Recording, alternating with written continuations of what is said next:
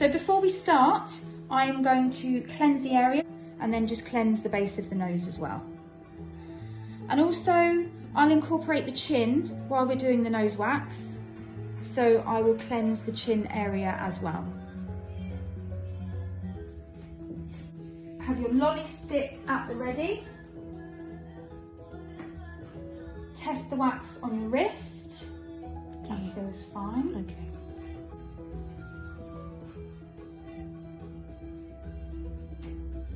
And apply the Moo Care oil.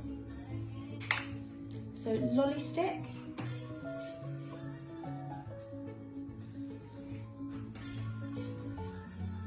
So I'm going to apply the wax onto the lip. So you would ask your client beforehand if they would like their nostril waxing. If it's a no, then that's as far as you go with the wax. If it's a yes, however, Say yes for me. then apply the wax downwards as normal and then bring it up into the nostril. Ask your client to breathe through her mouth and tell her that you are only going to do one side at a time. This can actually make some people feel quite claustrophobic.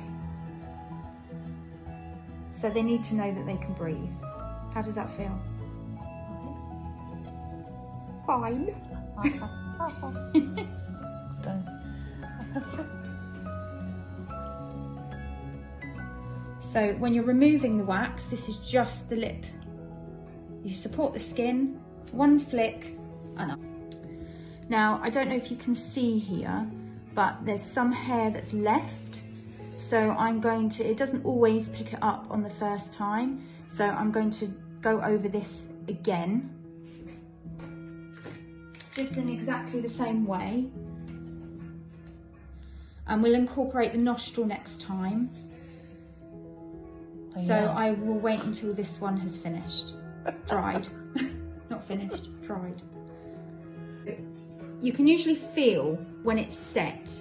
And the, the difficulty with the nostril wax is that sometimes the lip section is set, but the nostril section is still slightly runny. So when you pull it out, it might just string a little bit.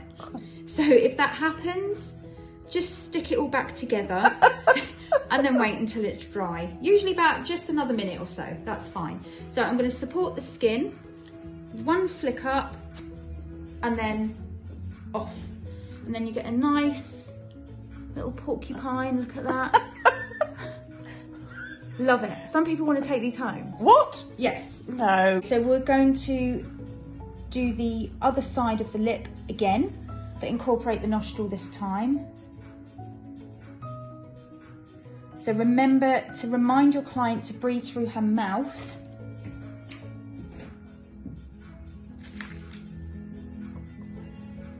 And check that the temperature still feels okay for her.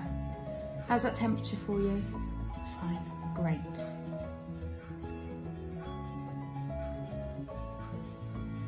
And you can leave that to dry.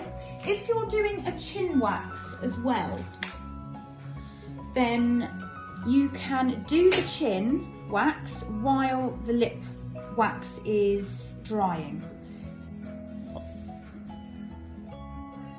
And a chin wax can incorporate as much or as little of the chin as you need it to. Some people have hair, just a couple of stronger hairs on this area here. Some people have hair right underneath here. It might be thick black hair or it could be more fuzzy superfluous hair.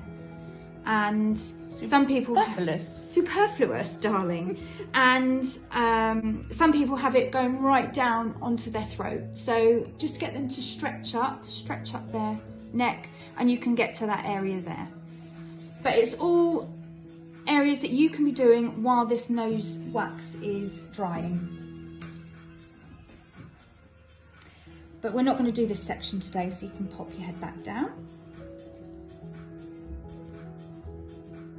Testing to see if that's dry. The chin usually dries quite quickly because it's just quite a flat area, so support the skin. One flick and off. Just breathe through your mouth for me, that's it. Okay, so I'm going to remove this side of the nostril.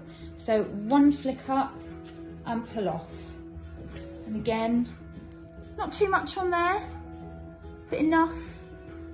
Oh, There you go. I don't want it, thanks. No bogies today. yeah, sometimes you do get the odd bogey that comes out on it. I have to say. Nice. Um, just don't make a fuss. just dispose of it nice and quickly and I'm sure the client would be mortified if she knew. So just probably best not say anything. If you've got any stragglers left behind, you can just tweeze very quickly.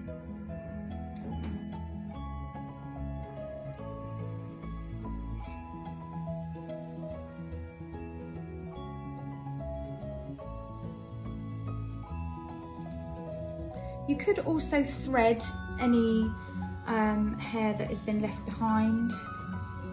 It depends, obviously, if you can thread or not.